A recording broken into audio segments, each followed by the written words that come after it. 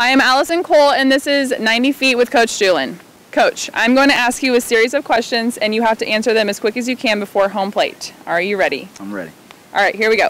Favorite color? Navy blue. iPhone or Android? iPhone. Favorite movie?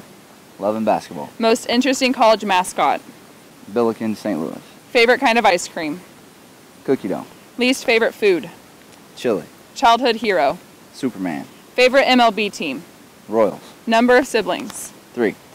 If you could play catch with one person, who would it be? Derek Jeter. Favorite hobby? Watching movies. What was your first vehicle? Chevy Cavalier. Favorite fast food place? Probably Chick-fil-A. Twitter or Facebook? Definitely Twitter. Dream vacation? Cancun. And there you have it. You just watched 90 Feet with Coach Dulin. Coach, thank you and have a great season. Thank you. Appreciate it.